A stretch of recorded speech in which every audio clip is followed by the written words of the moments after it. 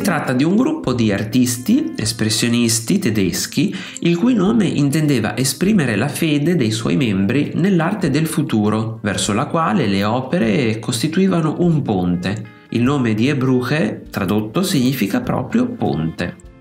I loro soggetti consistevano principalmente in paesaggi e composizioni di figure, soprattutto nudi all'aperto. Lo stile pittorico con cui erano trattati era molto carico, si serviva di colori forti e spesso non naturalistici e di forme semplificate, energiche e spigolose. C'è un senso di ansia e inquietudine che traspare nelle opere di questi pittori che spesso erano quasi privi di una formazione accademica e professionale. Furono influenzati non solo dall'arte tardo medievale tedesca, ma anche dall'arte dei popoli primitivi, la xilografia diventò una delle tecniche predilette al gruppo perché è particolarmente adatta nella resa dei forti contrasti cromatici e dei tratti deformati tipici dell'arte di questi pittori. Ottennero presto i primi riconoscimenti, ma iniziarono a perdere l'identità di gruppo mano a mano che gli stili individuali si facevano più evidenti.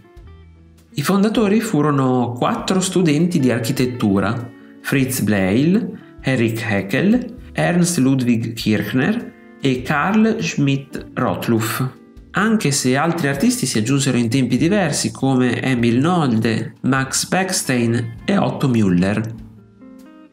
Die Brücke nacque ufficialmente nel 1905 per sciogliersi otto anni dopo nel 1913, poco prima dello scoppio della Grande Guerra. I divari tra gli artisti divennero sempre più grandi e fu questa la causa principale della loro separazione. Il gruppo prese vita a Dresda, ma coinvolse un po' tutta la Germania. Nel 1911 tutti i membri della Bruche si spostarono a Berlino, centro di maggiore vivacità culturale. I loro scopi erano vaghi, ma inizialmente intendevano rompere con le aride convenzioni della borghesia e creare uno stile pittorico radicalmente nuovo, più in sintonia con la vita moderna. Ad ogni modo il gruppo diede un forte impulso all'espressionismo in Germania.